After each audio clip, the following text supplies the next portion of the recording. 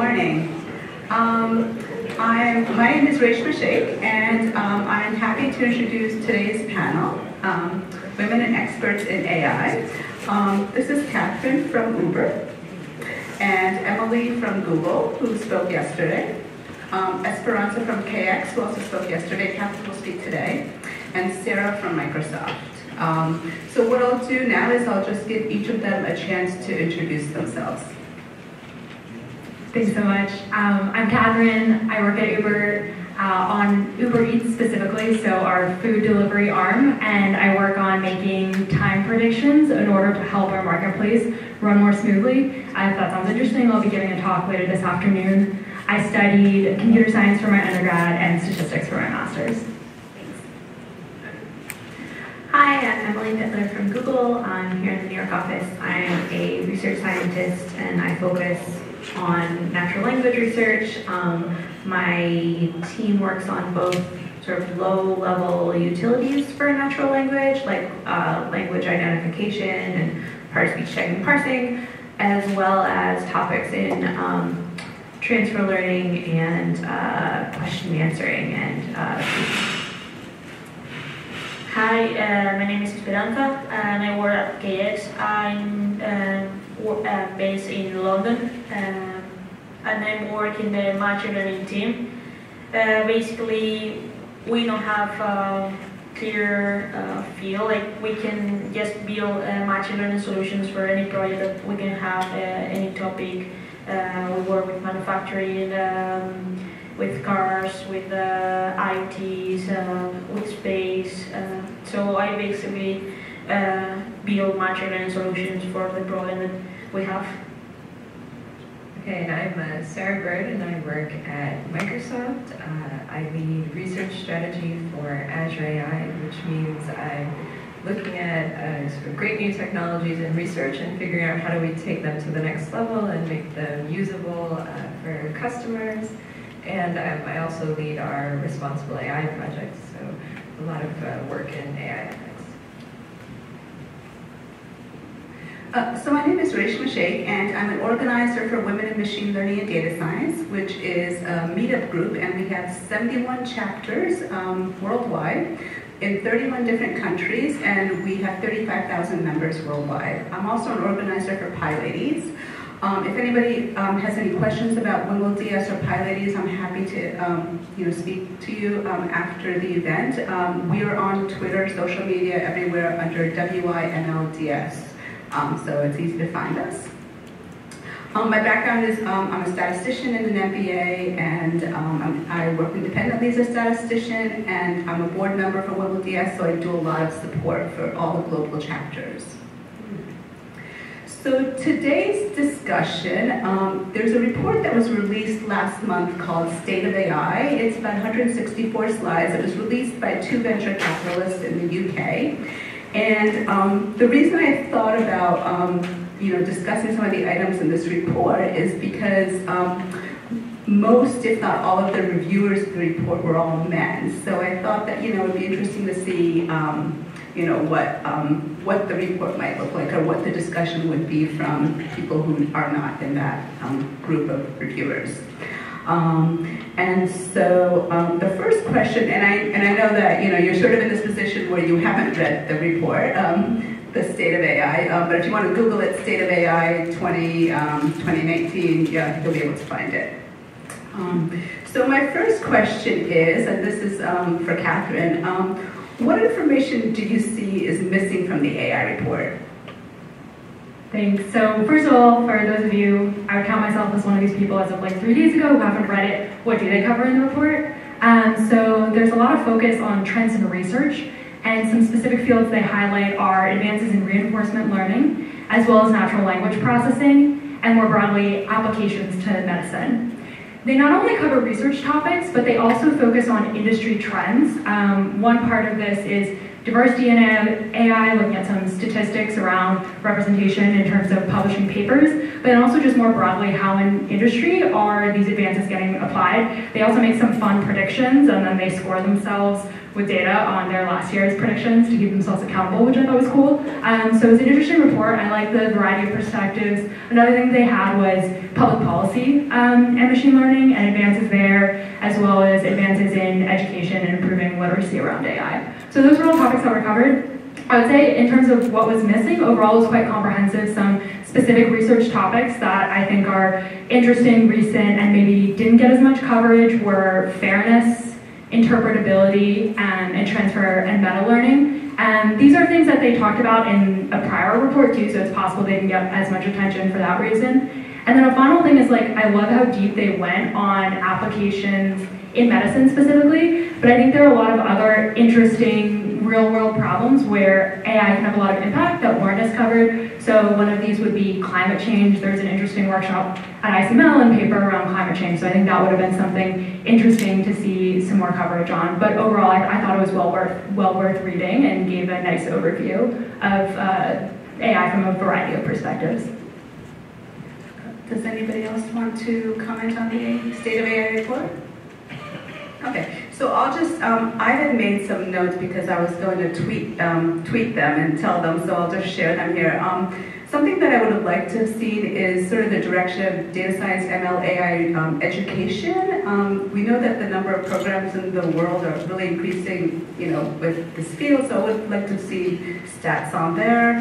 Um, I think one of the other discussions is location of these AI conferences are in a few select areas, which make it difficult for people in other countries to get visas and travel. So it would have been interesting to see that.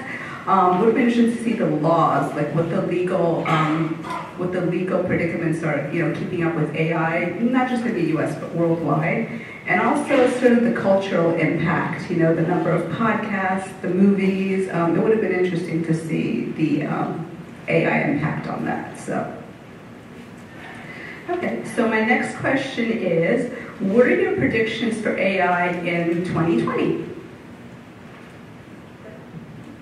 Um, well, for what I've seen so far, as I said, I basically build machine learning solutions.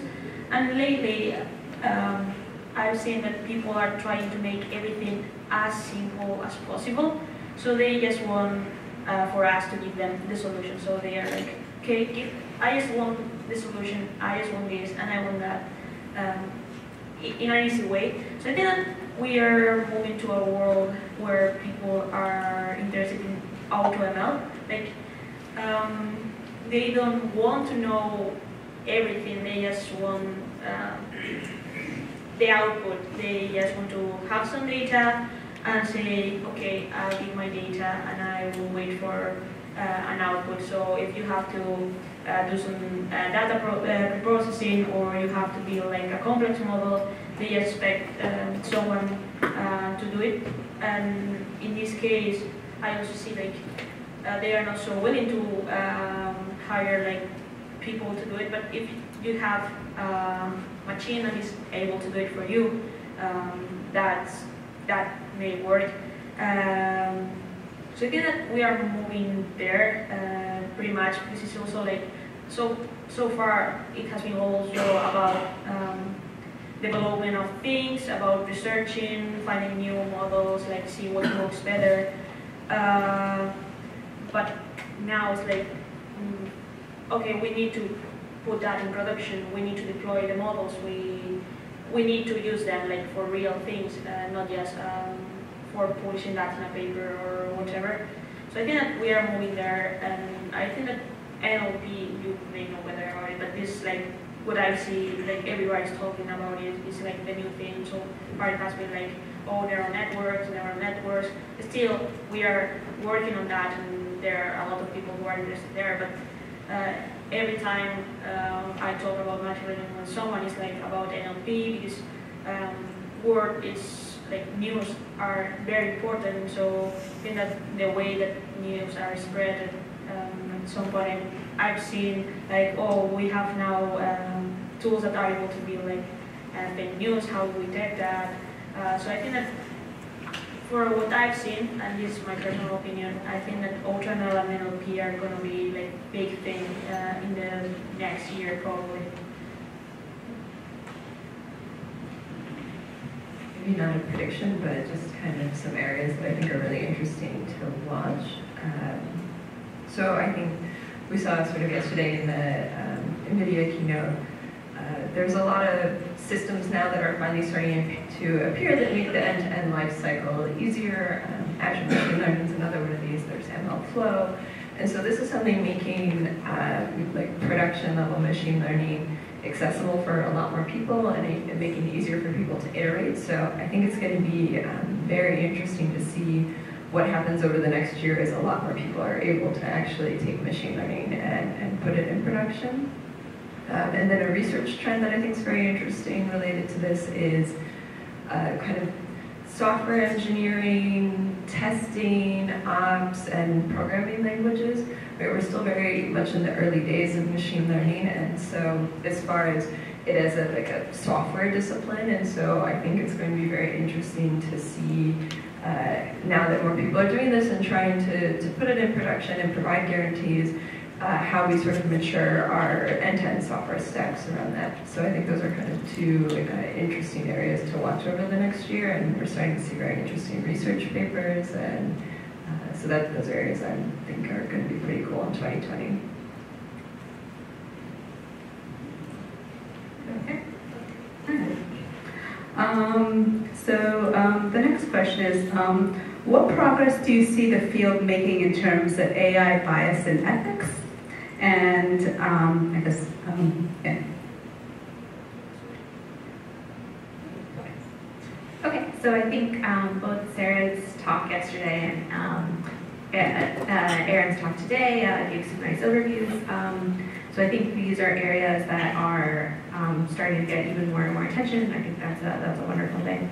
Um, something that um, I'm particularly uh, happy to see that Sarah mentioned yesterday is both the uh, model cards work as well as the data sheets for data sets work. So I think um, there's research showing like, well, how can you like say what is in a data set and what sort of uh, tests have been applied to it and what's representative and what are what are use cases that are sort of um, recommended and which are sort of buyer beware. Um, and I think that's a really good direction. Um, another direction that um, I'm excited about is that I think, so in Aaron's talk, he talked a little bit about like sort of fairness and accuracy trade-offs.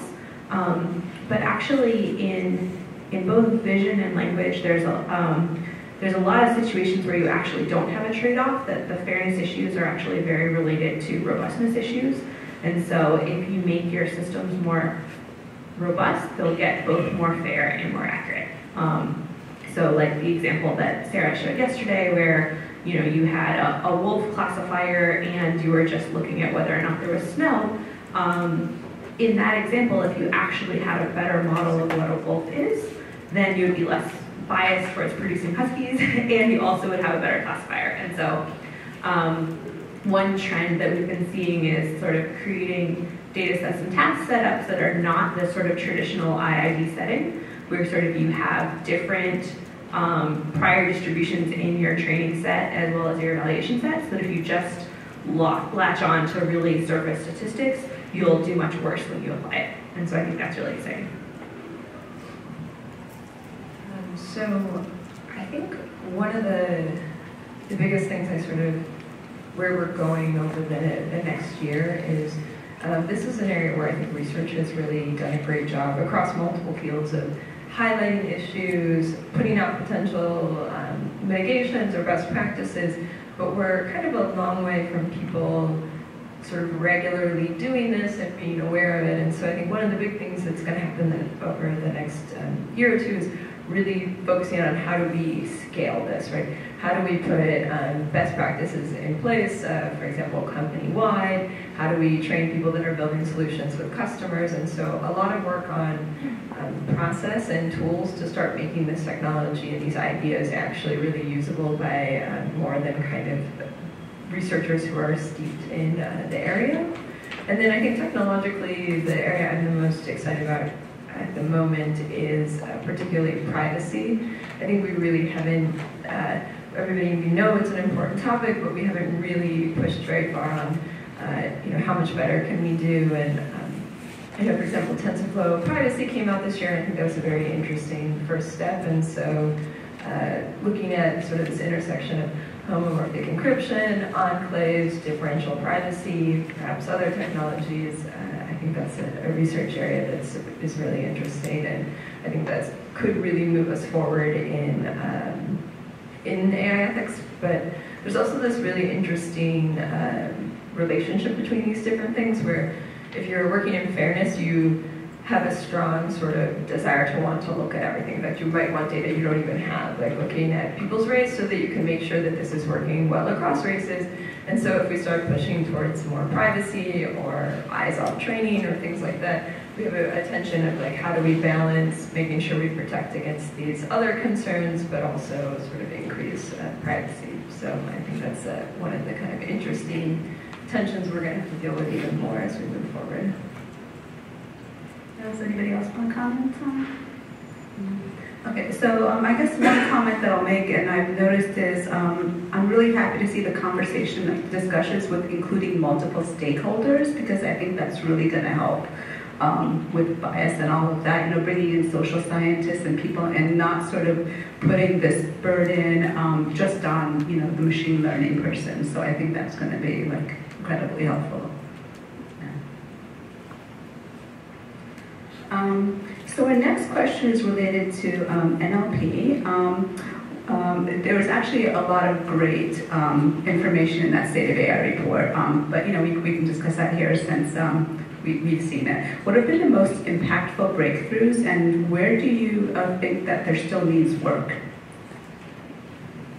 I'll take this one. So I think that the progress in transfer learning and having pre-trained representations that are an awesome starting point for a wide variety of tasks has been really impactful in the past year.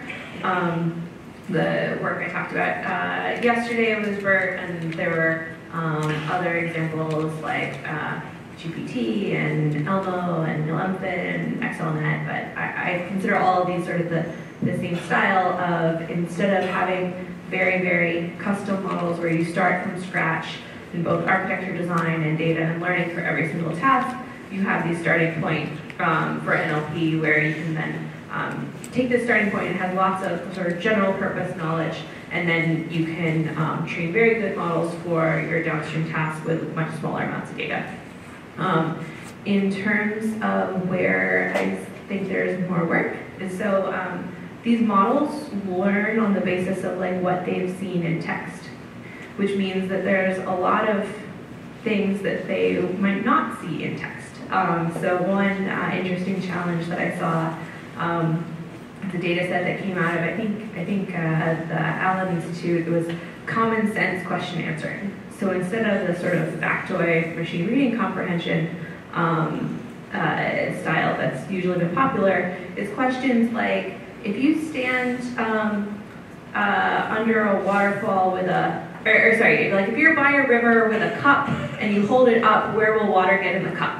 And then uh, you need to say like, okay, yes to waterfall and no to bridge and so on. And these are things that like are actually really easy for humans, but it's very unlikely you would just pick up if you just read a bunch of textbooks or um, Wikipedia and so on. And so um, models that are really accurate on sort of more challenging questions are actually um, pretty bad at these sorts of things. So I think what we need to see is more how do you integrate sort of this sort of common sense knowledge that might not be found in text, as well as how do you integrate information from different sources, like um, maybe some things are found in text, but some things are found in knowledge bases, some things are found in images, and right now we don't have a great way of putting all these things together.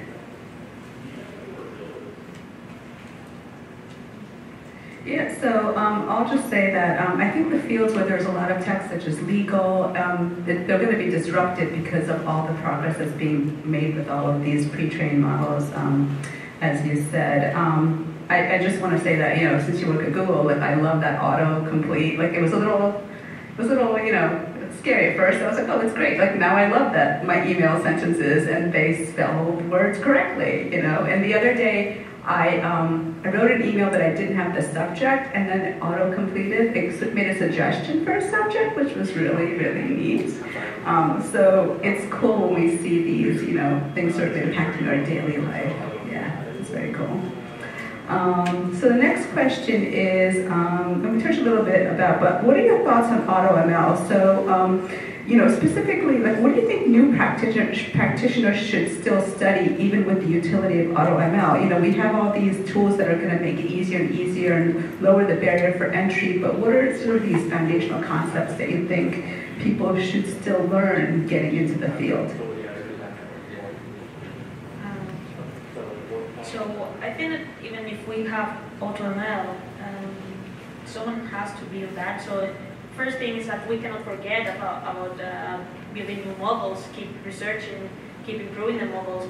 So I think that people that who are really passionate about uh, machine learning should still keep learning all they can, not just the basics, like everything. Even if you have these tools, it's true that, for example, I build a model and I try to improve it and improve it, and I have to say I usually go to a, a, some AutoML um, tool to see compare my results, so it can give you some kind of um, benchmark and see how you are doing. But you need to know, um, you, you still need to know what machine learning you have. In my view, you still need an, an expert on that. If you are just interested in using, like, you are not passionate about machine learning, you just want to use it to get results, I still think it's important to know about um, basic things as data uh, processing because still you're going to give some data to uh, your AutoML tool. It will do some computations for you, but uh, still you need to know that you can, there are some things that you can do about all these training, testing, validation that you cannot test your data with data that you have used for training. but you still need the basis of, of course. And for me, it's still important to know about the models in general, um, at least the basic how to interpret uh, a model. Um, but I think that's something, something more personal, like as a mathematician, I would like to see what's behind everything. And if you get a result, you can't just trust on that. Uh, I think that you will have to be um, kind of uh, doubt about it and try to see what's there. So I still think that even AutoML is a good thing. Uh, something that is very helpful, but still we need to keep uh, working the models and the, how the data, the, like the data you have. Uh, I think we don't need to forget about what we have done so far. That we just need to keep improving and pushing harder. Does anybody else have any?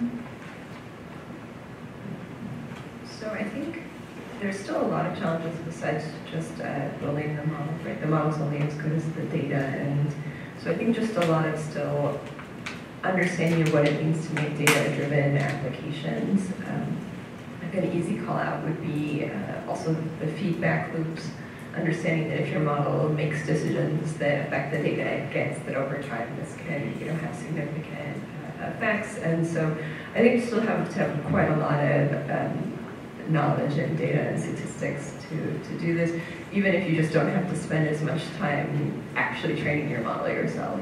So I think I think we're pretty far off from it kind of just being push button and you don't need to know very much about data and, and data-driven applications.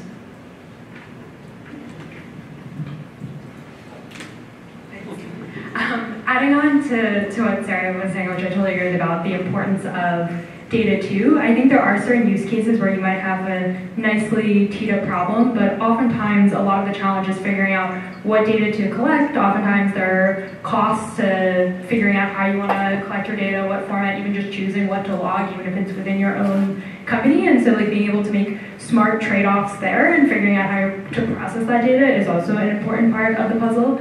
I think one thing that's kind of interesting within companies too is figuring out as sort of versions of AutoML get more sophisticated, how do you distribute machine learning expertise throughout the company so that you can do a mix of taking advantage of existing tools, but then also being able to innovate on high impact areas? Is it having some teams of specialists that then consult with embedded teams? Because um, there's certain advantages to sort of owning the business line and really understanding what are the goals of the product so we can even decide what types of models we should be building.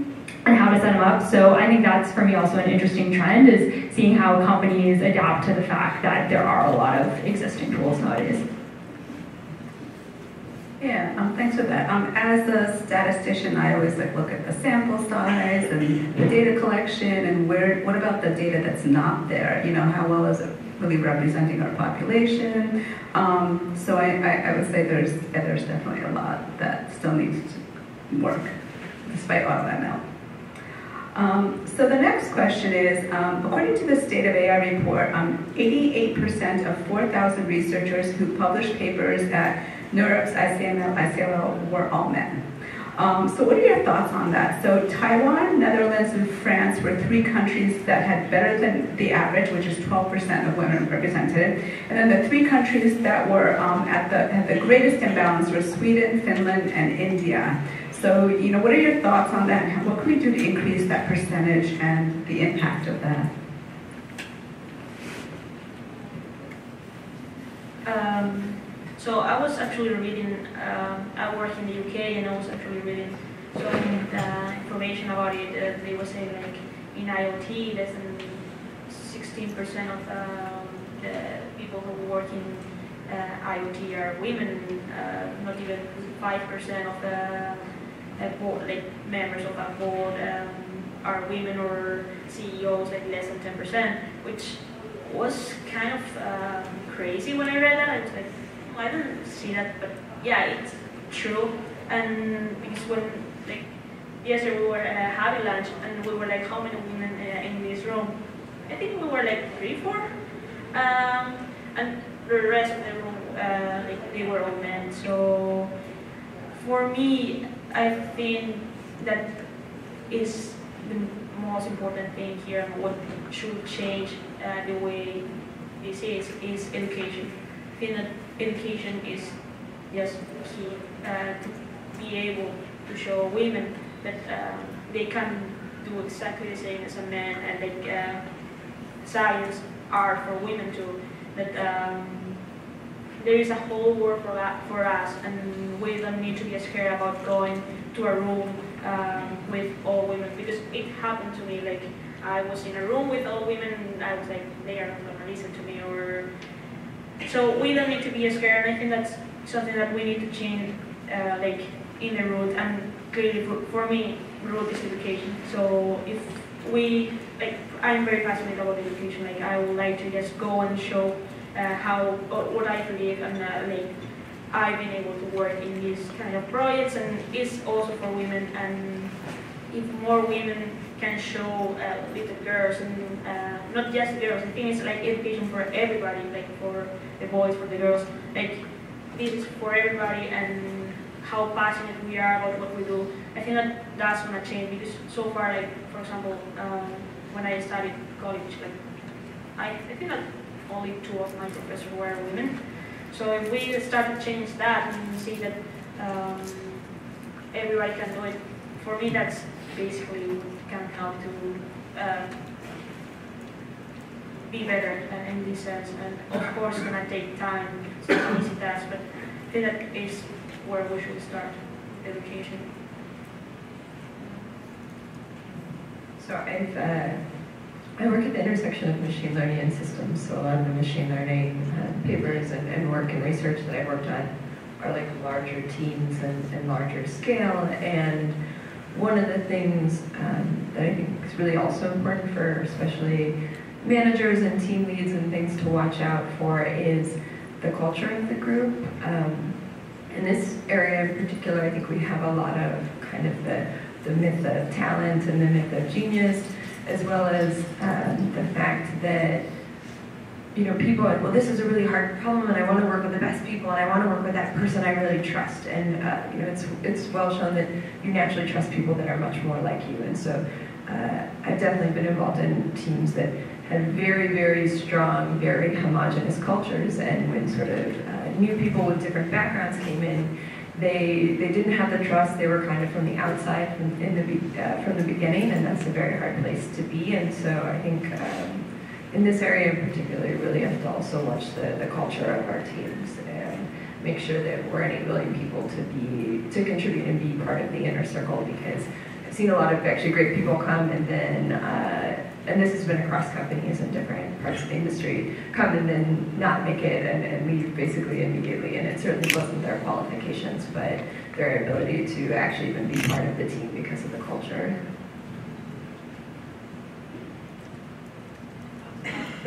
Yeah, I, I totally agree with that. I mean, I think one thing that was very interesting that I like that they did is they looked at the differential between different countries. Um, I kind of wish they'd gone a little deeper there in terms of, you know, some of it I think might have been a small sample, but also like, were there any things that were happening in specific countries that helped with this? Because I think one thing that has been impressive to me, I think, is similar to what Sarah's saying, just like the fact that these little changes can actually have pretty big impact. And I've definitely seen in certain companies, there are certain teams where there's just great diversity and like a lot of variety, and other teams where it just happens to be all men, and there's no like real difference between the kind of projects that they work on, but I just think it's the kind of thing that once people start putting in effort into it, it can be either this really positive feedback loop, or in the case where there is a lot of homogeneity without like a pretty concerted effort to start like looking for other types of talent, it can also become reinforcing in that sense.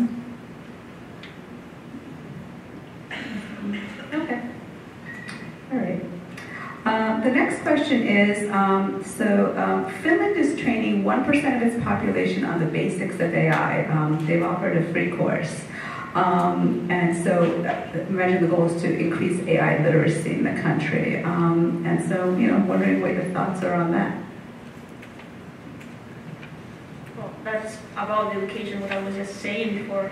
Uh, I think that that would be great if we can have it everywhere. I remember when I was studying, I was just a child, and there were some of my uh, friends that they used to ask the, the maths uh, teacher, well, why are we studying maths? Like, it's useless. Like, uh, I don't need it. I don't need to know how to uh, do this. Like, in my real life, I'm not going to use it. Um, I remember that she used to say that's to help you kind of build your brain how to think about problems like you will face problems in real life, not about maths, but you need to be able to sit down and say, okay, this is my problem, this is where I'm going.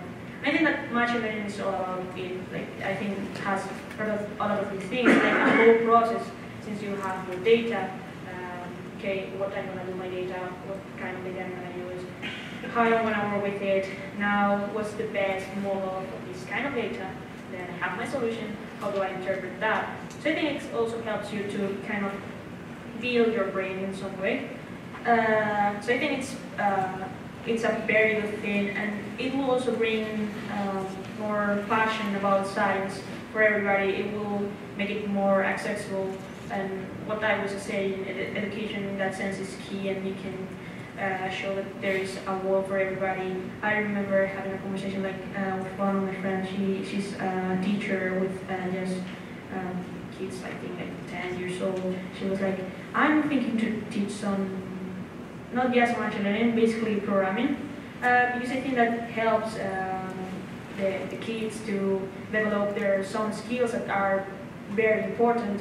And um, like we are uh, big fans of Harry Potter, and she's like, I just seen a wand that you can learn how to like um, code with a wand for kids. Like obviously you're not gonna have um, write like some proper proper code, but teach like like how to create loops or how to do several things. So I think that that makes everything more accessible to uh, to everybody. I mean, I think that would be great if we can have it everywhere. Yeah, I, I think those are great points. I think it's really interesting that there's going to be this big skills gap. So proactively trying to fill that to help people uh, be able to take on a lot of the AI-related jobs, I think that's great. I think it's a really interesting point about how that can also potentially help contribute to diversity by making it a more standard part of the curriculum. One thing I would add too is that I think there's a real need for greater AI literacy among the public and among policymakers. So I also see this as really important to fill that gap because at the end of the day, you don't just want a community of scientists making decisions which have a technical component, but really a lot of these are making value judgments, thinking about those hard trade-offs between fairness and privacy that were mentioned earlier, for example. So I think that having that sort of base level of literacy in the population will also hopefully help them as a society just develop better policies around AI. Did you want to say anything? Okay. All right. Um, yeah, I, I would say that, you know, I, I think it's a great initiative. Um, you know, I, I was like, I remember graduating from college and thinking, okay, I don't know how to get a lease on an apartment, financial literacy, making my own doctor's appointments. Like I graduated from college and yet there's so much that I didn't learn about my life and managing it. So, um, yeah, there's, there's, there's, it's gonna, like you said, it's gonna help in all, you know, understanding it. Um, the next question I have is, um, who are five women doing AI work that you would recommend to um, offer their expertise and thought leadership on AI? So if I was going to answer this question, I mean, a lot of the women in AI who I work with most closely are also Uber, so I'll mention a few from Uber and a few outside. Um, Raquel Urtasun uh, is the chief scientist for our self-driving cars unit, so super important technical challenges around computer vision, also interesting policy implications. So I find the work she's doing super interesting. I think there was recently actually a profile of her that was, that was very good as well. Um, and then also two of the female directors of data science. So one's Fran Bell, who runs our machine learning platform efforts, as well as more broadly product platform. So some really cool applications of both like how do we build good machine learning tools for the company, and then how do we also apply it on some interesting areas like, for instance, customer support. How can we use machine learning to help leverage the ability of our existing agents to, to solve those problems? And then finally, uh, Dawn Woodard, who is uh, data scientist running our MAPS organization, so a lot of really interesting problems there. Um, and she's also the executive sponsor of our Women in Data group, so really strong on both the sort of technical side and business side. Um, just out of interest, some uh, researchers whose work I find super interesting, uh, Barbara Engelhardt out of Princeton, uh, Tamara Broderick from MIT and uh, Daniela Witten um, from University of Washington, sort of a bunch of different areas, Bayesian statistics, uh, high dimensional data for biology, but those are some of the researchers whose, whose work I found super interesting. Does anybody else want to share? It doesn't have to be five, but whatever names come to your mind. Cool. Um, I'll just add a few from the NLP perspective. Um, so I wanted to highlight two academics. Um, Regina Barzilay from uh, MIT does um, super fascinating work in NLP, and she's also now branching out into um, medicine and how some of this work can carry over into bringing AI to improve medical research, and that's super interesting. And the other one is Yejin Choi at the University of Washington, and she's been doing a lot of work on sort of combining language plus so language and vision, language and grounding, and really kind of pushing the boundaries of what we consider NLP work. To be honest, I'm very bad with names. I like I can't remember names even if I read research, like so I cannot even remember that story. So uh, one of the really great things about working in AI ethics in particular is that I think there are just some extremely amazing women in this area. So um, uh, both these are, um, I say with Microsoft, but uh, Hannah Wallach and um, Jenn Wortman Vaughan are doing amazing uh, work. Um, they were involved in the, the, the, data sheets work that I was talking about, and uh, there a lot of other interesting work. And also um, Kate Crawford and, and Mary Gray. And the reason I, I think that a lot of um, these women are doing very interesting work is uh, some of them have very deep, you know, technical machine learning backgrounds, but they've also um, have a lot of understanding of social science and work with social scientists. So they're doing really great uh, work across the boundaries, which I think is uh, sometimes more than twice as hard. And so I think it's really great to see the work that they're doing. And there's actually amazing people at Google also in this space. Um, and so, um, does, does anybody else have any comments to make before I open it up to the audience? Questions? No? Okay, so we'll take some questions from the audience. Um, you can ask, I'll, I'll, repeat it. Um, uh, I would like to ask the, ask the panel about the problem of regulation. Uh, we have the uh, we have examples like uh, or this uh, accident with uh, autonomous vehicle where where a person was killed. what are the, what are the what are your comments on, on the need of regulating AI? Are we close to to this point where this will become an urgent issue? what, what, what is your, what is, Okay, so I'm just going to repeat the question for the sake of the recording. Um, the question was, um, what about the problems with regulation, with fakes, with the um, with the adverse side effects of autonomous vehicles? Um, where do you see, um, you know, where do you see that going? You know, addressing those problems. I'm holding the mic so I can uh, start here. So I think um, regulation is an important part of the story. We ideally have a system where we have these checks and balances where um, the public and advocacy groups and the government, you know, keep technology or keep companies in line and make sure that they are using technology in the right ways. And uh, but part of the story has to be this education piece, right? We need to make sure that we're regulating in the right ways that actually have the effects that we intend and not sort of other effects. Um, and I think the other important thing, so I think we do have a duty to help um, educate these communities and uh, make sure that, because we also were talking yesterday about how in some of the spaces, the existing regulations aren't right for this technology and they're holding us back, but in other cases, maybe there should be more regulation, and so we you know, really need to rethink it, which means we need to have people on um, with all different backgrounds who can get together and think about what does it really mean to regulate this space.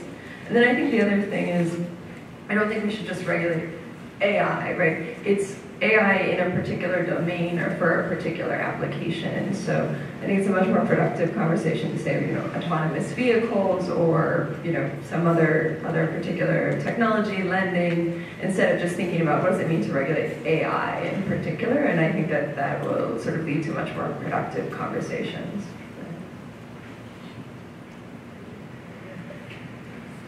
Yeah, I want to echo Sarah's point that I think um, a lot of these things are kind of going to be specific to the domain, and what makes sense in one domain might be might be different for another. And so making sure that people making the regulations sort of understand the, the problems is really important. Um, to your question of fakes, I think that's something where we also um, need more technological work. So if you think of something like spam detection, that was a really hard problem 15 years ago, and now we're really good at it. And so I think for fakes, um, like that's something that probably we need more and better research so we can um, keep up and um, get better at detecting them. So I think a lot of these things have both a policy component, but also a technological component. What can we do from the technology side to help? Um, yeah, and, and just to comment on the autonomous vehicles, one of the, um, what was in the report was that the fraction miles driven by, um, you know, self, self-driving cars versus um, people driving cars is like so little because they actually haven't made the progress that they, um, that, you know, we would have quite expected to see. Um, so, you know, it, it, in a way it's a little bit reassuring, like, okay, they're still working on it because it's a really hard problem. Um, so, yeah. Adding to the fakes, I think the other thing we need to do is separate the, the conversation from these sort of adversarial cases. Like I think if we, for example, which I know no one's proposing, but if it was suddenly just like illegal to make a deep fake, I don't think we'd have any less of them right now. And so we also need to make sure that we recognize that um, regulations help people who are well-intentioned make sure that they are doing it in the best way and they know what the best way is, but it's not going to help in any of these cases where our concerns are more about an adversarial environment. And so making sure that we separate these in conversations, I think will allow us to have a much more productive conversation about what regulations we might need and which problems they really are solving and which problems they aren't solving. Um, next question. Um, thank you for sharing your perspective today. I appreciate it. Um, I guess my question is maybe like a philosophical question bordering onto ethics. Um, as you're going through your work and having your different conversations, and thinking about the way these models steer people down courses of decisioning or behaviors and so on, I'm thinking what, what is the impact of society if we are kind of like steering people maybe intent to like or look alike, etc. Just wondering how you. So I'll just repeat the question. Um, what are, um, you know, using AI, just these models that are directing people to go in certain directions, what's the impact of that? Um, so if anybody wants to answer that. I can say I think it's a, it's a really good question and it's a really hard problem and some of it depends on how we use the technologies. So uh, I worked um, on contextual bandits and using those in practice uh, for, for example, personalized news. And in that case, we actually saw that the algorithm increased the diversity of articles that people were seeing and people could find what they, they wanted. Now, of course, then you have the problem of this, the other side of it is what if we have echo chambers and everybody only sees their bucket and there's no unified content. And so um, I think the harder problems are societally who's deciding and should it be, you know, a uniform thing or a very diverse thing? Do we want to do something about echo chambers? I think we can kind of make the algorithms ultimately do whatever we think the right policy is, but I think there's just a hard question around now that we have many different types of like content delivery mechanisms or recommendations. Do we need to think about the effect of that on society and are there actual interventions we should be doing? Uh, next question? Yeah. Um, I don't know if you guys have heard of uh, imposter syndrome or where you feel like you're a fraud or you're not as qualified as the people around you in a position like when you come in. And um, I don't know if you ever felt that way or if you think that's a, a common thing for women getting into the field where even if they are qualified, they may not feel it or may lack the confidence. Okay, so the question was on imposter syndrome and how people um, can feel that everybody around them is um, so much better than them, even if they are qualified, and how that um, impacts women in the field. I, well, personally, I felt like that sometimes. Like um, everybody around you is better, and they have like um, more affinity. And for example, between men, like if you are in a team with men and you see like they share more things, uh, and then you start to wonder, uh, like maybe I'm not as good.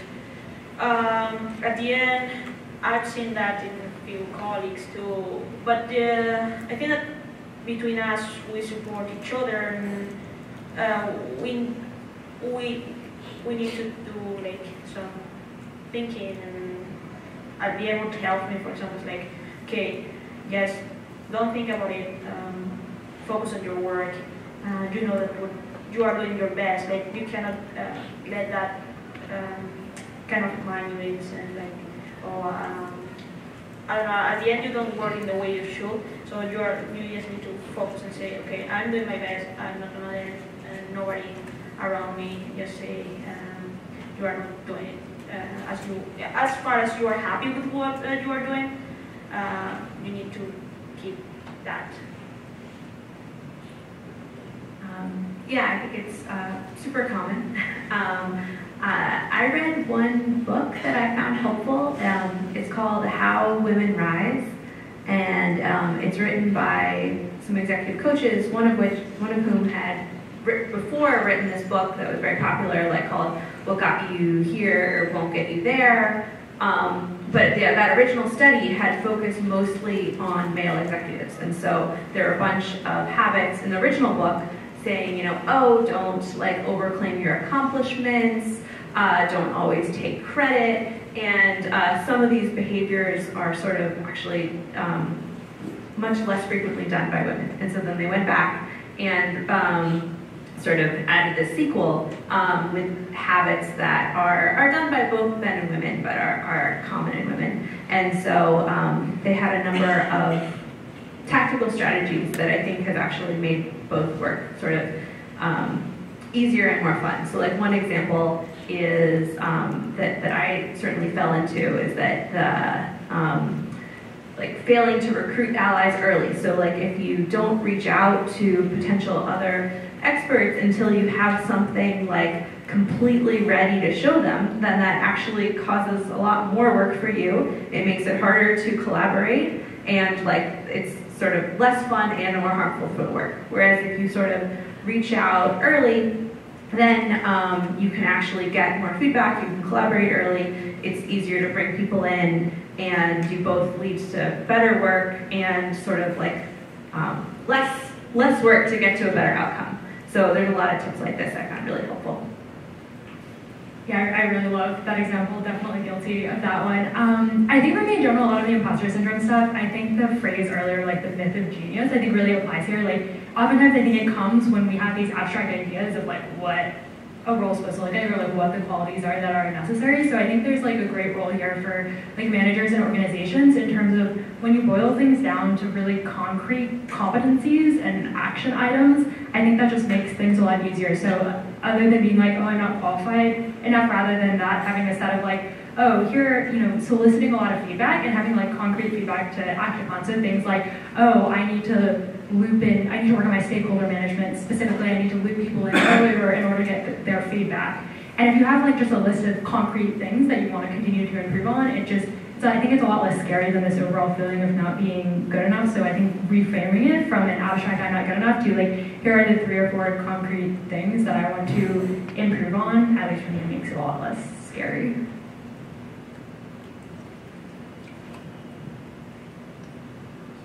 So I think this is a, a useful mechanism, but um, also for diversity and, and, teams in general. But um, I switched research areas a couple different times and had a variety of different uh, roles in my career trajectory. And so quite often I was sitting at a table where it, it's very easy to say, like, I'm just not qualified at all. I don't know anything about this area. I don't know. And um, it's always been really helpful for me to think about like do the mental exercise and have a deep grounding on like what my strengths are and what they're not and like why I'm sitting at the table and what I brought to the table.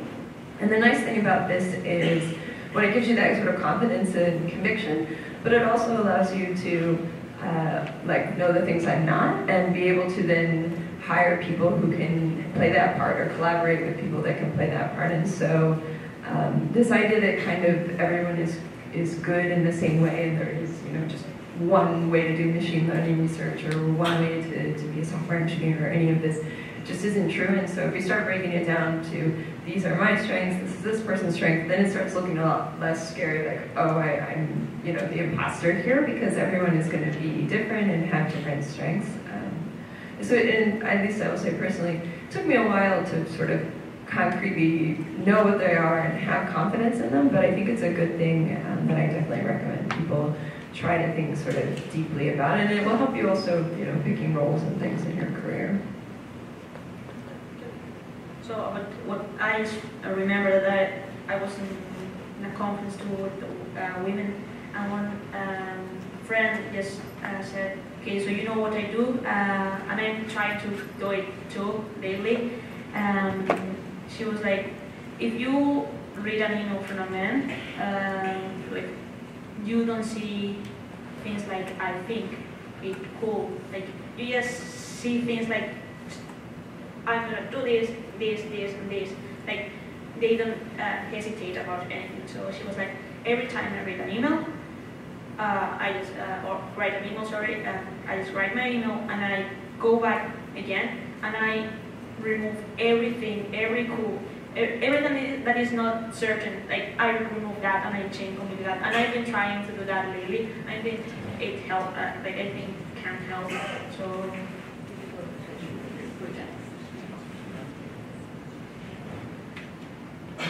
Um, yeah, so I'm just going to add my one thought on it is I feel imposter syndrome all the time, and one thing I say to myself, okay, but still keep doing work. Like, don't stop. Like, don't get stuck in that state where I'm not actually getting anything done because I'm feeling, you know, like I can't do it. So that's that's one thing. Um, any question? I just want to quickly add that some salt to that. Um, you, you will be punished for it eventually. Um, so a thing I've had to learn the other way, that um, you will be punished for not putting in the appropriate amount of pitching for your shift. The confidence is good, but. So I'll just repeat that for the sake of the recording. Um, the statement was, um, you may be punished for um, not putting in the appropriate amount of hedging for your gender. That's what it was. Okay. Uh, any other questions? Yes. Yeah, so my question kind of naturally segues from your question. Uh, so some of you expressed that there have been situations before where you walk into a room and you're kind of the only woman. Right? And some of you also expressed that in situations like these, uh, there there is a sort of a fear to express your ideas and the, and the fear that they might be looked down upon. Uh, so um, uh, my question is whether uh, how often this type of a tendency occurs, and uh, what I'm wondering is whether this tendency is kind of uh, making the men feel more. I mean, is this a vicious cycle? That's what I'm trying to know. If like more and more women, women are uh, holding back their new ideas, and that's that's the reason why more and more men in the workspace are thinking less of the women. And it just goes on and on. Is is this the case? You think, or Okay, so I'll just um, sort of phrase that question. The question was, how often do you walk into a room or a situation where you're the only woman or one of very few women, and being in that position, sort of, um, you're less inclined to share, participate, you know, and um, if that sort of situation reinforces itself where the men dominate the conversation. Um, so I, I hope I rephrased that, okay? Um, so, yeah. I find that situation very often, uh, I think. But I think that we are doing some improvements. Like, it was more complicated before to go and like say what you uh, think. But I think that yes, knowing that you have the support of all these women and we want to be listened to. Like, I think that yeah, it kind of could be a like a vicious thing, but I think that we are going in the right direction. Like every, every time I see more women, just saying, I'm not gonna keep quiet. I'm just gonna say what I think. So hopefully, uh, we are going uh, in the right direction. One thing I've uh, done as a manager that I think has helped both women and men is um, try to not just spring topics on people cold in a meeting, but um, either have like pre-work, so they're asked to think about something beforehand, or mentioned in something one-on-one, so the people who, these might be men or women, who are shyer or might prefer to sort of gather their thoughts before speaking up, have the opportunity to gather their thoughts ahead of time, and then that usually makes people much more likely to share. Or even asking people to, you know, come prepared with a slide um, expressing their things, and then they present it, and they've had the benefit of that prep time. And I think that helps a lot of people.